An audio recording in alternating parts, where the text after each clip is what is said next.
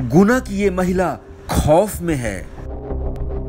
गाँव के दबंगों ने डायन करार दे दिया और उसके परिवार से मारपीट की।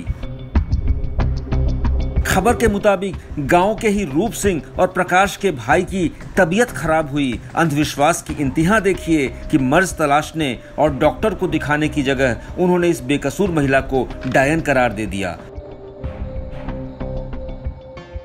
उसके परिवार पर लाठी फरसों से वार किया। सुनिए क्या है महिला का आरोप?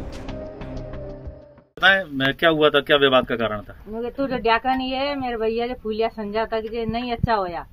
तो तेरे को मार के डालू आज आ रहा हूँ मेरा कुआँ तो है ठल्ट के लाऊँगा मेरे घर हाँ। मार के डालू आज के तो फूलिया का अच्छो कर दे। हाँ। नहीं तो- किसने बोला ये बात? तू थे लड़की रूप सिंह ने। तू थे लड़की और तेरा आदमी। तीनों डाकने इसी बोल रहे। हमारा हुक्का पानी और जाति से बाहर करने की कह रहे हैं साहब। साहब कह रहे हैं? यहाँ से तुम्हारा हुक्का और जहाँ से ज़मीन छोड़ के ही भगेगे तुम। जहाँ नहीं रहने दे तुम। ये कह रहे हैं ये कह रहे हैं। आपसे? हाँ। और अगर नहीं गए ज़मीन छोड़ के तो क्या करेंगे? मार, मार देंगे तुम्हें।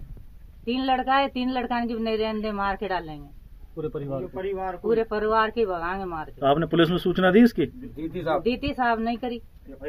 पुलिस ने। एफ़ आई आर कर दी कर साहब। दी। ये रही भाई यार साहब ना सरकार कर रही ना समाज को इकट्ठे हो रहे हैं ये लोग। ने पंचायत ही कर रहे। हैं हम तो जेल खा के मरेंगे? हम क्या करेंगे? जी के हमारा कोई सूचे घाट नहीं है तो हम क्या करेंगे? हमारे कैसो बदनाम करो ने हम डाकन है का?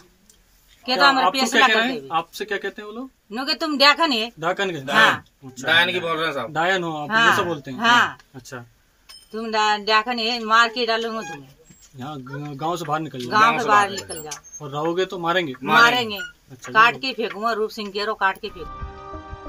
पुलिस ने मामला दर्ज कर लिया है पर सवाल ये है कि आखिर समाज का एक तबका 21वीं सदी में भी क्यों अंधविश्वास के अंधेरे में जी रहा है? टाइम एट मध्य प्रदेश के लिए गुना से विकास दीक्षित की रिपोर्ट।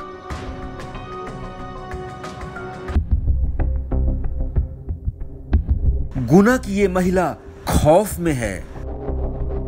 गाँव के दबंगों ने डायन करार दे दिया और उसके परिवार से मारपीट की। खबर के मुताबिक, गाँव के ही रूप सिंह और प्रकाश के भाई की तबीयत खराब हुई। अंधविश्वास की इंतहा देखिए कि मर्ज तलाशने और डॉक्टर को दिखाने की जगह उन्होंने इस बेकसूर महिला को डायन करार दे दिया। टाइम एट मध्य प्रदेश के लिए गुना से विकास दीक्षित की रिपोर्ट।